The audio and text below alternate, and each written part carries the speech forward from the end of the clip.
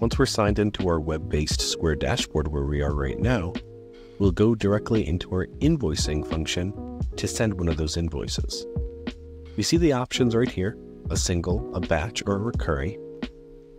Once we decide which we'd like to send, we'll do a single invoice. We'll add a customer. So Albert has, we have their first, last, and email. We have the option to leave a title on this invoice, your purchase.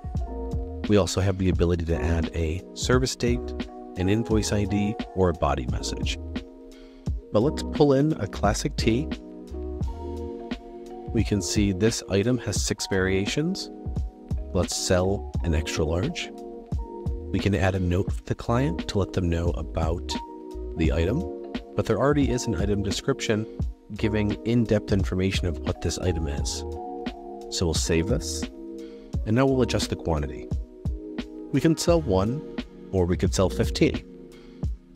If we sell at a certain level, Square Invoices will let us know whether or not we are overselling.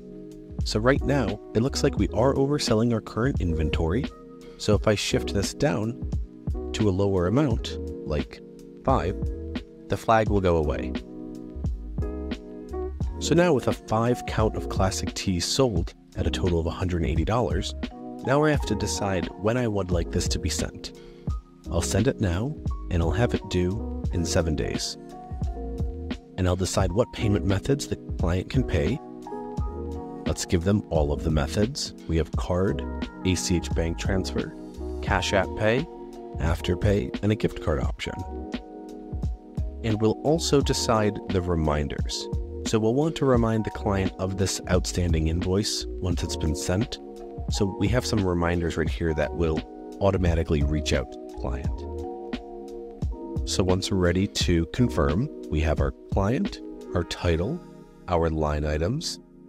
We do have the option to discount, but we'll keep it at $180. And everything is set for our payment methods and due date. So we can go ahead and hit send. So now, this invoice sent out to Albert, it is going to automatically remind him of the upcoming amount that he owes. It'll have all the details of the invoice. And if he comes in and would like to pay cash or check, we can simply click Mark as paid and choose the proper payment method. If not, he can go ahead and self serve and make payment via any of those other payment methods we've chosen and pay for the invoice on his own.